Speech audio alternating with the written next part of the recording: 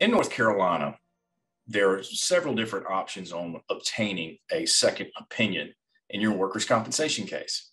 It depends on the type of second opinion that you are requesting, but there are two available opinions that are available to an injured worker one as a matter of right, and one as a matter of either agreement between the parties or with order of the Industrial Commission. The first second opinion, which is a matter of right, which everyone's entitled to, is a second opinion on the rating. What I mean by that is, is if you are injured as a result of a workers' compensation uh, uh, accident and ultimately you receive medical treatment um, and you're placed at maximum medical improvement by your physician, that physician may or may not assign a permanent partial disability rating.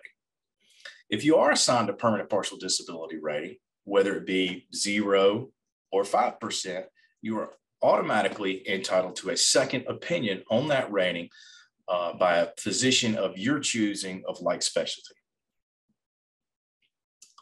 The other second opinion can either be negotiated between you and the insurance company or allowed by the Industrial Commission.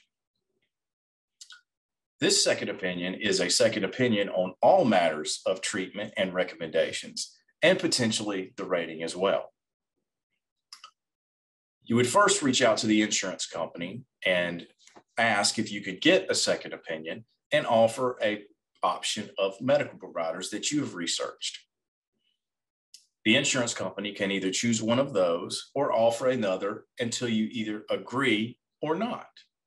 If you do not agree on a second opinion position, then you can make an application to the Industrial Commission for the Industrial Commission to order either one of your physicians or ordering the parties to choose another. If you're interested in a second opinion and don't know which way to turn or which one would be applicable to your case, give us a call. We can help.